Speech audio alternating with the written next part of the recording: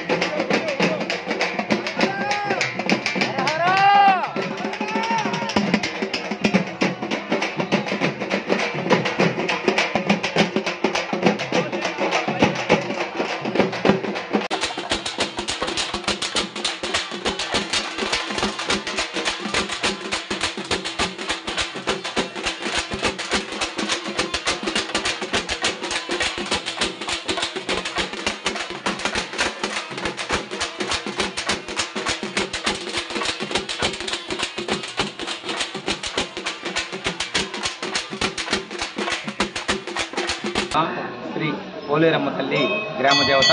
మరి ఈ రోజున పోలేరమ్మ పండుగ సందర్భంగా మరి పాత మంగళగిరి కొత్త మంగళగిరిలో ఉన్న వాళ్ళు మరి వివిధ ఏరియాల నుంచి కూడా పోలేరమ్మ తల్లి దగ్గరికి దర్శనానికి వస్తారు. అదేవిధంగా ముక్కుబొళ్ళు తెచ్చుకొని మరి గ్రామ దేవత అంటే మనందరం కాపాడే తల్లి.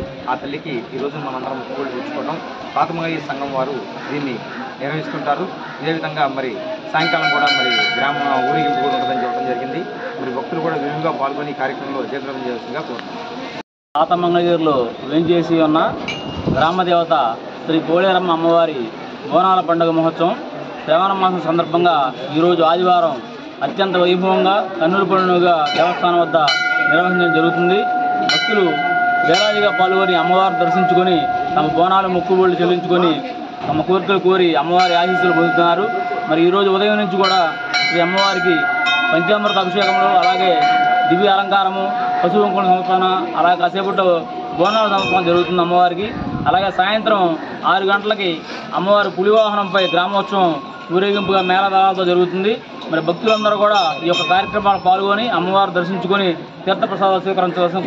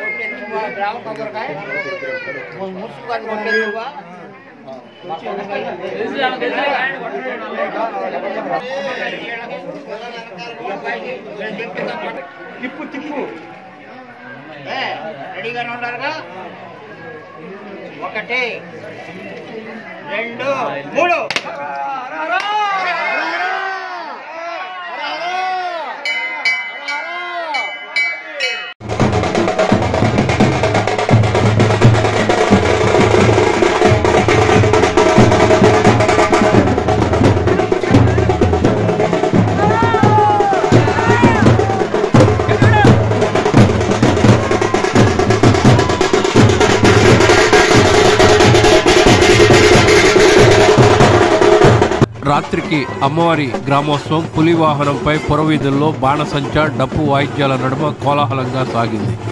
పాత మంగళగిరి పద్మశాలి సంఘం పెద్ద శ్రేష్ఠులు పాలకవర్గ సభ్యులు భక్తులు పెద్ద సంఖ్యలో పాల్గొన్నారు. పాత మంగళగిరి పద్మశాలి సంఘం అధ్యక్షుడు ఓట్ల పాల శ్రీనివాస్ బోనాల పండుగ మహోత్సవాన్ని పెద్ద శ్రేష్ఠులు పాలకవర్గ సభ్యులు సమన్వయంతో పర్యవేక్షించారు.